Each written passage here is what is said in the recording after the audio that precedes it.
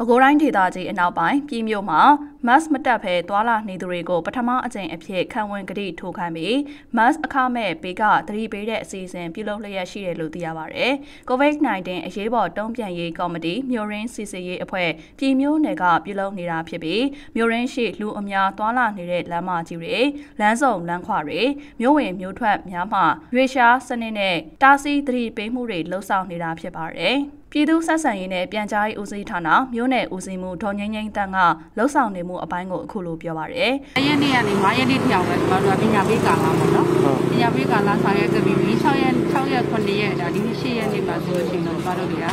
လူစီကားတဲ့နေရာတွေလမ်းဆောင်လမ်းဘွားတွေပေါ့နော် အဲ့ဒီမှာဟိုဒီ mask မတက်တဲ့ဒီလူတွေပေါ့ပြီးတဲ့အခါကျတော့စိုက်ကယ်ကိုနှစ်ယောက်ထပ်ပို့ပြီးတဲ့လူတွေပြီးတဲ့အခါကျတော့စိုက်ကယ်နဲ့ဒီလမ်းပြီးတော့လဲချင်းချင်းသွားနေတဲ့လူတွေပေါ့နော်ဒီလိုလမ်းသွားလာနေမှာလဲလူတိုင်းကို mask တက်ဖို့အတွက်မတို့တွေကအခုဆိုလို့ရှိရင်တို့တို့တွေတက်တက်ကိုမတို့ပြန်ပြီးတော့စစ်စစ်တယ်ပြီးတော့လည်းဒီခံဝန်တတိပေးလက်မှတ်ထိုးပြီးတော့မှမတက်လာတဲ့လူတွေ mask တွေပြန်ဝင်ပြီးတော့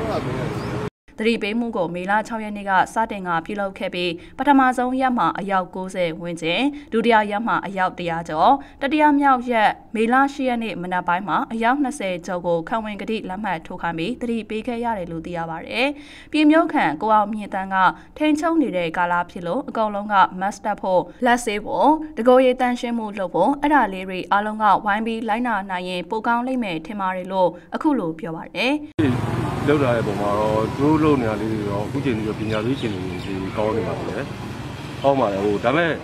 ဟိုဒီတက်ပို့ပြီးတော့တော့ဒီအရေးယူပိုင်းမူပိုင်းလေးတွေထပ်ထပ်ပြီးတော့တိုးလာပြီးမှဆိုတော့ပို့ပြီးတော့ကောင်းနေမှာလို့ထင်တယ်။ဒါလေးတွေသိပြီးအောင်အဲပထမပိုင်းနဲ့ဆိုလို့ရှိရင်တော့တော်တော်များများတော့လိုင်းနာလာတာလေးတော့မြင်ရပါတယ်ဟိုပထမဆုံးရက်ကဆိုလို့ဒီတရားကျော်နေရောက်ရှိတာဒီပြေးပြေးချင်းနည်းနေလာတော့တွေ့ရပါတယ်ဟောထိချုပ်နေထိချုပ်နေတဲ့ကာလဖြစ်တော့တရားမှာ ပေါ့လေ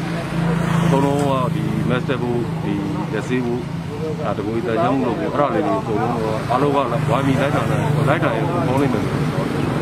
လက်ရှိအချိန်မှာမြို့ကန်အများစုမှာ mass တက်ဆင်ပုံနီးစနစ်တကြမရှိတာပြီးဆက်လွယ်အဖြစ်မေးဆေးမှချိန်ထားတာဖန်ဆီးခါနီမှတက်တာလုံးဝမတက်စင်တာတွေရှိနေပြီးအထူးသဖြင့်ဈေးရိတ်မှလိုက်နာမှုအားနည်းနေတယ်လို့မြို့ခံတွေကပြောပါတယ်